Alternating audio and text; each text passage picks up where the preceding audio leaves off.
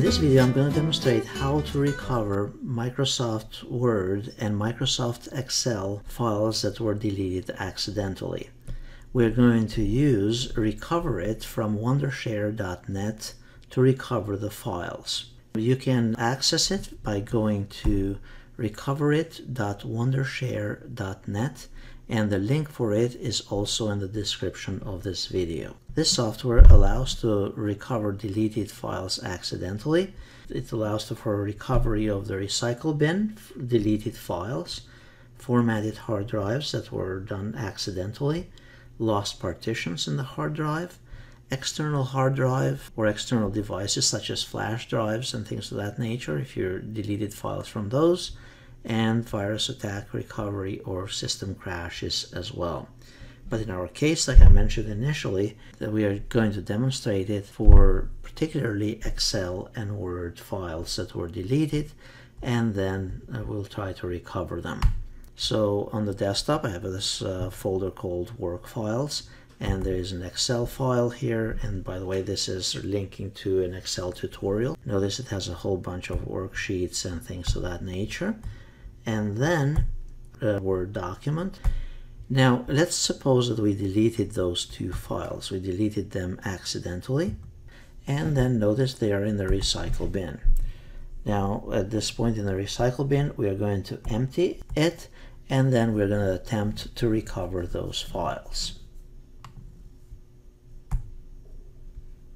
So at this point, they are deleted and note that the files that we deleted are under the work files folder and notice we have only one file where we had three earlier. Now to recover those files we're going to use, like I mentioned earlier, Recoverit from Wondershare. Once we launch the program, you'll notice that uh, it displays the various uh, hard drive partitions that you have in your computer. In this case, I have three of them. Has an option here for external devices that will be flash drives and such, and then also recovery from the recycle bin, the desktop, or a specific selected folder. Now in my case, I'm going to simply look for files that were deleted from the desktop. So I'm going to click here on desktop, and then I'm going to simply click on start. If I wanted to choose here, select a folder, I could have selected a specific folder as well. And that is a nice option to utilize as well. So if I go here under select a folder, go under desktop, and then click OK, and then just let the system do the scanning. Notice there's this bar here that is scrolling along. The time dependent on how many files and how large your hard drive is because it has to go and scan variety of sectors in there. Now notice you, it's uh, using the file path showing us where those files were located or we can do here recovery also the viewing by file type as well. Now as this is still scanning here notice if we go by file type we can go under uh, scan by document and then also list the files by specific file extensions here. So if it's a Word document, you can do dot uh, .doc or docx. This will be the Office 2 2007, 2010, 2016 and such. If we do by file path, notice we can navigate. Here we go under Users, User 1, and then under Desktop, and then under Work Files, and notice so far it has displayed a couple of the files that we had earlier. We could either preview those files or we could simply put check marks in here and choose to recover them. And now it says select the path to where to save those files.